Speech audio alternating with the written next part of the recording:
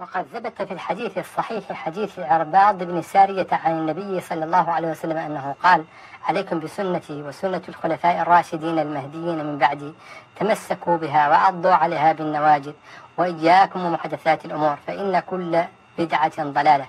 وفي السنن من حديث سفينة عن النبي صلى الله عليه وسلم أنه قال خلافة النبوة ثلاثون سنة ثم يصير ملكا عضوضا. فالمحكي عن أبي حنيفة يقتضي أن قول الخلفاء الراشدين حجة وما يعلم لأهل المدينة عمل قديم على عهد الخلفاء الراشدين مخالف لسنة رسول الله صلى الله عليه وسلم. والمرتبة الثالثة إذا تعارض في المسألة دليلان كحديثين وقياسين جهل أيهما أرجح وأحدهما يعمل, يعمل به أهل المدينة ففيه نزاع فمذهب مالك والشافعي أنه يرجح بعمل أهل المدينة أو يرجح بعمل أهل المدينة. ومذهب أبي حنيفة أنه لا يرجح بعمل أهل المدينة. ولأصحاب أحمد وجهان أحدهما وهو قول القاضي أبي يعلى وابن عقيل أنه لا يرجح به. والثاني وهو قول أبي الخطاب وغيره أنه يرجح به. قيل هذا هو المنصوص عن أحمد ومن كلامه قال إذا رأى أهل المدينة حديثا وعملوا به فهو الغاية وكان يفتي على مذهب أهل المدينة. ويقدمه على مذهب أهل العراق تقريرا كثيرا وكان يدل المستفتي على مذاهب أهل الحديث ومذهب أهل المدينة. ويدل المستفتي على إسحاق وأبي عبيد وأبي ثور. ونحوهم من فقهاء أهل الحديث ويدله على حلقة المدنيين حلقة أبي مصعب الزهري ونحوه. وأبو مصعب هو آخر من مات من رواة الموطأ عن مالك. مات بعد أحمد بسنة سنتين وأربعين ومئتين وكان أحمد يكره أن يرد على أهل المدينة كما يرد على أهل الرأي ويقول إنهم اتبعوا الآثار. فهذه مذاهب جمهور الأئمة توافق مذهب مالك في الترجيح لأقوال أهل المدينة. وأما المرتبة الرابعة فهي العمل المتأخر بالمدينة فهذا هو حجة شرع فهل هو حجة شرعية يجب اتباعه أم لا؟ فالذي عليه أئمة الناس أنه ليس بحجة شرعية فهذا مذهب الشافعي وأحمد وأبي حنيفة وغيرهم وهو قول المحققين من أصحاب مالك. كما ذكر ذلك الفاضل عبد الوهاب في كتابه أصول الفقه وغيره. ذكر أن هذا ليس إجماعا ولا حجة عند المحققين من أصحاب مالك وربما جعله حجة بعض أهل المغرب من أصحابه وليس معه للأئمة نص ولا دليل بل هو أهل بل هم أهل تقليد. قلت ولم أرى في كلام مالك ما يوجب جعل هذا حجة. وهو في الموطأ إنما يذكر الأصل المجمع, المجمع عليه عندهم فهو يحكي مذهبهم. وتارة يقول الذي لم يزل عليه أهل المدينة ببلدنا يصير إلى الإجماع القديم وتارة لا يذكر. ولو كان مالك يعتقد أن العمل المتأخر حجة يجب على جميع الأمة اتباعها وإن خالفت النصوص لوجب عليه أن يلزم الناس بذلك حد الإمكان كما يجب عليه أن يلزمهم اتباع الحديث والسنة الثابتة التي لا تعارض فيها. وبالإجماع وقد عرض عليه الرشيد أو غيره أن يحمل الناس على موطئه فامتنع من ذلك وقال إن أصحاب رسول الله صلى الله عليه وسلم تفرقوا في الأمصار وإنما جمعت علم أهل بلدي أو كما قال وإنما تبين أن إجماع أهل المدينة تفاوت فيه مذهب جمهور الأئمة. علم بذلك أن قولهم أصلح أقوال أهل الأمصار رواية ورأيا وأنه تارة يكون حجة قاطعة وتارة حجة قوية وتارة مرجحة. إذ ليست هذه الخاصية لشيء من أمصار المسلمين ومعلوم أن من كان بالمدينة من الصحابة هم خيار الصحابة. إذ لم يخرج منها أحد قبل الفتنة إلا وأقام بها من هو أفضل منه.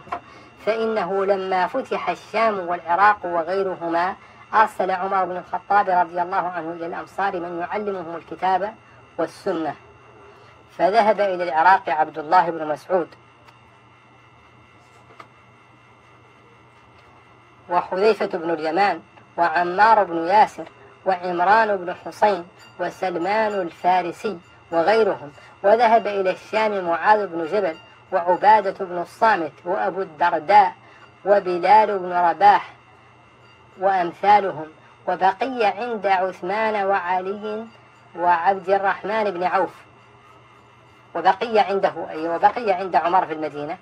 عثمان آه، عثمان وعلي وعبد الرحمن بن عوف ومثل أبي بن كعب ومحمد بن مسلمة وزيد بن ثابت وغيرهم. وكان ابن مسعود وهو أعلم من كان بالعراق من الصحابة ذاك يفتي بالفتيا ثم يأتي المدينة فيسأل علماء أهل المدينة فيردونه عن قوله فيرجع إليهم كما جرى في مسألة أمهات النساء.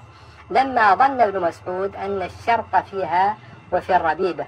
وأنه إذا طلق امرأته قبل الدخول حلت أمها كما تحل ابنتها. فلما جاء إلى المدينة وسأل عن ذلك أخبره علماء الصحابة أن الشرط في الربيبة دون الأمهات. فرجع إلى قولهم وأمر الرجل بفراق امرأته بعدما حملت. وأن أهل المدينة فيما يعملون إما أن يكون سنة عن رسول الله صلى الله عليه وسلم وإما أن يرجعوا إلى قضايا عمر, عمر بن الخطاب ويقال إن مالكا أخذ جل الموطأ عن ربيعة وربيعة عن سعيد بن المسيب وسعيد بن المسيب عن عمر وعمر آه، محدث.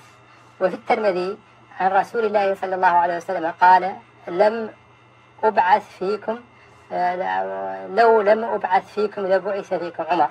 وفي الصحيحين عنه صلى الله عليه وسلم أنه قال كان في الأمم قبلكم محدثون فإن يكن في أمتي أحد فعمر. وفي السنن عن النبي صلى الله عليه وسلم أنه قال اقتدوا بالذين من بعد أبي بكر وعمر. وكان عمر يشاور أكابر الصحابة كعثمان كعثمان. وعلي وطلحة والزبير وسعد وعبد الرحمن وهم أهل الشورى. ولهذا قال الشعب ينظروا ما قضى به عمر فإنه كان يشاور. ومعلوم أن ما كان يقضي به أو يفتي به عمر ويشاور فيه هؤلاء أرجح مما يقضي أو يفتي به ابن مسعود أو نحوه رضي الله عنهم أجمعين. وكان عمر في مسائل الدين والأصول والفروع إنما يتبع ما قضى به رسول الله صلى الله عليه وسلم وكان يشاور عليا وغيره من أهل الشورى كما شاوره في المطلقة المعتدة الرجعية في المرض إذا مات زوجها. هل ترث؟ وأمثال ذلك. فلما قتل عثمان وحصلت الفتنة والفرقة وانتقل علي إلى العراق هو وطلحة والزبير لم يكن بالمدينة من هو مثل هؤلاء.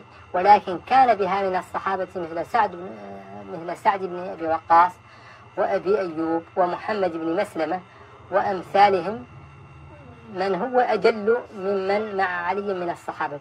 فأعلم من كان بالكوفة من الصحابة علي وابن مسعود. وعلي وعلي كان بالمدينة إذ كان بها عمر وعثمان. وابن مسعود وهو نائب عمر وعثمان ومعلوم أن عليا مع هؤلاء أعظم علما وفضلا من جميع من معه من أهل العراق. ولهذا كان الشافعي يناظر بعض أهل العراق في الفقه محتجا على المناظر بقول علي وابن مسعود.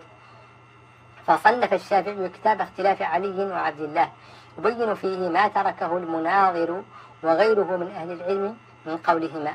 وجاء بعده محمد بن نصر المروزي فصنف في ذلك أكثر مما صنف الشافعي. قال إنكم وسائر المسلمين تتركون قوليهما بما هو راجح من قولهم من قوليهما وكذلك غيركم يترك ذلك لما هو راجح منه.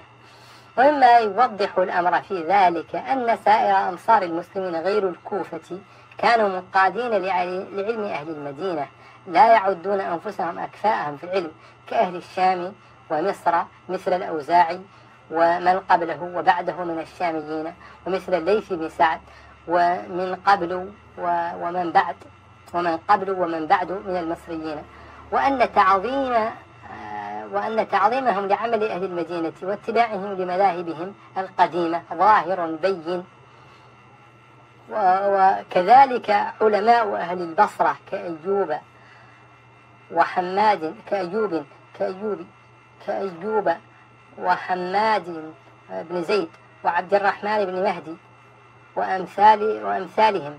ولهذا ظهر مذهب أهل المدينة في هذه الأمصار فإن أهل مصر صاروا نصرة لقول أهل المدينة. وهم أجلاء وأصحاب مالك المصريين كابن وهب وابن القاسم وأشهب وعبد الله بن الحكم.